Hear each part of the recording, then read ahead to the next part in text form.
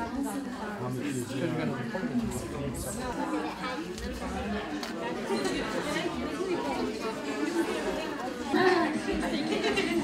free to go around, raffle.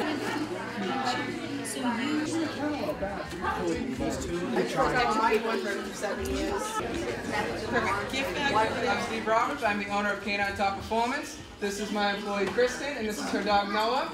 I would like to thank everybody for coming. I appreciate you guys supporting me here tonight. And we're going to start with an, basic through advanced obedience demonstration. You can heel them around again. And you can notice as she turns, the dog is following. The dog is paying attention to where going, to where we're going. We are the highest value here. Gonna down, and then she can do whatever she would like. And so now, instead of returning back to the dog, she is now gonna call the dog to her. She is gonna tell the dog to heel. He's gonna run up, turn, spin his butt, and sit down right next to her. Perfect. Very nice. Good. And so, very good. You can call to you.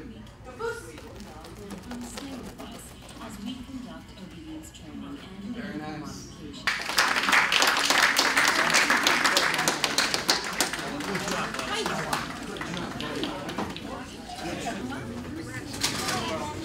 Yeah, I guess the way you working dog. Everyone's Sona. Good boy, Noah. Beginner class setting here. And again, when I want him to down, nuts. You're gonna pull the leash down. When I want him to stay, flat. You can start to walk away. Whenever I'm ready, I'm just gonna call him to me, and he's gonna figure out where he's supposed to be. Foos!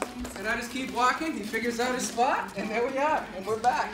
Decoy, but he's not gonna bite unless the decoy is to make a fast action towards Platts, the flat fast action towards the dog, or tries to attack the dog. Good. And you'll see the so much.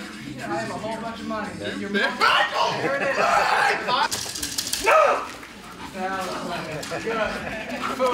And again, that time you saw the pure intent to bite, and then wait. I papers like he needs to be in here like in a month from now.